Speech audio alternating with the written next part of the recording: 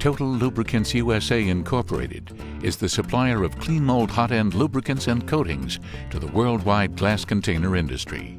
We are dedicated to providing you with high quality products, service, and value. Total Lubricants offers a full range of products for all applications, including hot and cold end lubricants and coatings. Everything the glass industry needs from the shears to the lehrs. In this presentation, we will demonstrate the method we recommend to apply our Kleenmold swabbing compounds. These recommendations are based on our years of experience and feedback from you, our users. We'd like to remind you of certain basic fundamental rules about swabbing and safety, which we know will benefit you and your operation by significantly improving productivity and making your job easier. Our goal is to help you get the maximum benefit, the best performance, and the best value when using our products. So why do we have to swab? We swab to aid the forming process and to keep the machine running. If the machine setup was perfect and could be perfectly maintained, we probably wouldn't have to swab at all. But since it isn't, we swab to keep the machine running.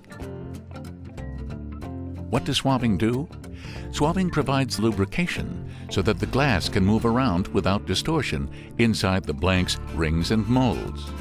Swabbing also provides release so that glass doesn't stick to the metal mold equipment. Swabbing regulates the transfer of heat by providing a thermal barrier between the glass and the metal. An 1150 degrees Celsius gob of glass is transformed into a 425 degrees Celsius bottle. And finally, swabbing helps to eliminate defects. While proper swabbing will eliminate defects, on the other hand, improper swabbing can sometimes cause them. That's why swabbing correctly is so important. Swabbing is the biggest variable in the bottle forming process because the product is applied by hand. Therefore, swabbing can have a significant positive or negative impact on productivity. The goal of this swabbing program is to demonstrate what we believe to be the best recommend swabbing application procedure. We believe our swabbing application procedures will assist you to maximize productivity and percent pack. It will provide for the most efficient use of Kleenmold, and it will assist you in achieving the best possible overall results.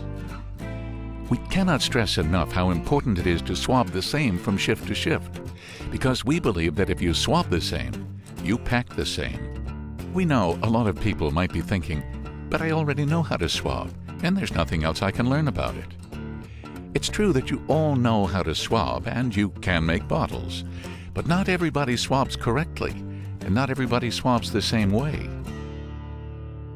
We believe that by swabbing the right way and the same way from shift to shift, you will significantly improve productivity and make your job easier. What are swabbing compounds and how do they work? Swabbing compounds are made from graphite, petroleum oil, sulfur, binders, surfactants, and suspending agents. The graphite does most of the work. The graphite is the solid film lubricant that gets deposited onto the surface of the mold equipment to provide lubrication and release. The petroleum oil is just a carrier that allows you to deposit the graphite. The petroleum oil burns off and has nothing to do with lubricating. The sulfur is added to help reduce checks. The binders stick the graphite to the mold. The surfactants provide wetting at high temperature because in order to have good adhesion, you need good wetting. And the suspending agents prevent the graphite from settling in the drum. In order to have consistent swabbing, you need to have a consistent product. We want you to keep the neat product cool, out of the sun, and store below 120 degrees Fahrenheit or 50 degrees Celsius for extended periods of time. Don't mix different products together, don't heat the product, and don't dilute the product. In order for you to have consistent swabbing, you need a consistent product. When putting the graphite on the mold equipment, you control where it goes and where it doesn't go. Swabbing is an art, you, the operator, know where to swab and how to swab. But having said this, there are certain basic fundamental rules about swabbing that we think can benefit everybody. Let's talk about the swab. How do you prepare the swab? You can prepare it by soaking the swab with a little light oil and working it in. Once the swab is wet with oil, the lubricant will penetrate the fibers faster. Swab should be 100% cotton, the wire tip should be carefully protected, and you should trim the swab to fit the job. We say the proper swab size should be about 1.5 times the diameter of the blank at the loading line. We recommend one swab for every 5 or 6 sections, so if you have a 10 or 12 section machine, you should use at least two swabs. This eliminates having to reload the swab during the swab cycle. And remember, if the Kleenmold is too hot to touch, it's too hot to use. A swab bucket can get really dirty. The dirt in the swab bucket gets onto the swab, transfers into the blank, and this contamination can cause bottle defects. We recommend using a swab station.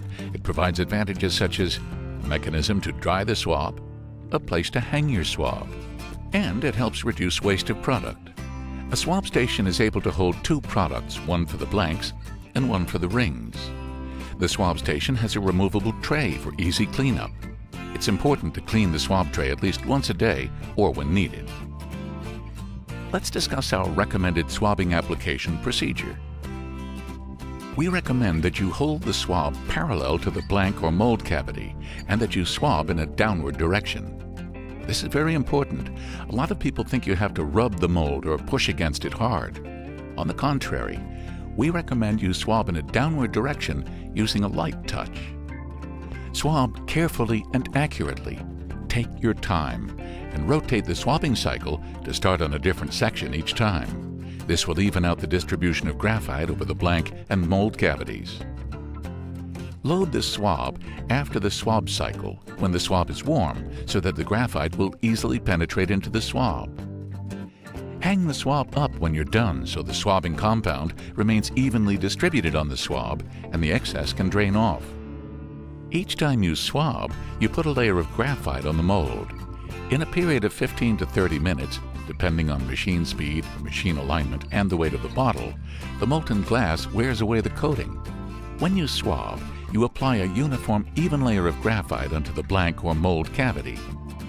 If you use a swab that's too wet, the graphite will not stick and could cause dirty bottles, orange peel, and defects. That's why we emphasize a dry swab more often is better than a wet swab less often.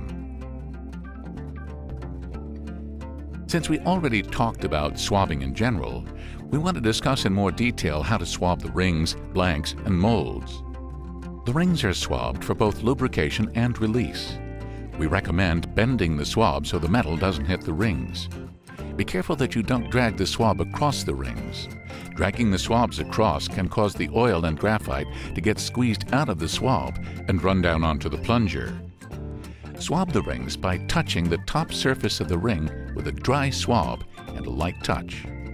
Swab the rings before the blanks.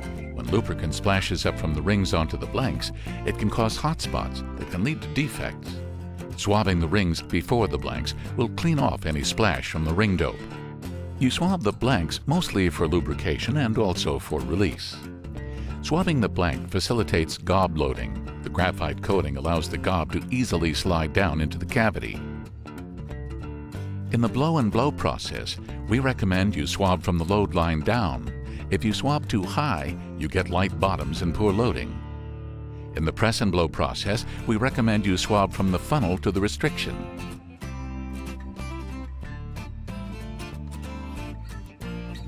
For the narrow neck press and blow process, we also recommend to swab from the funnel to the restriction.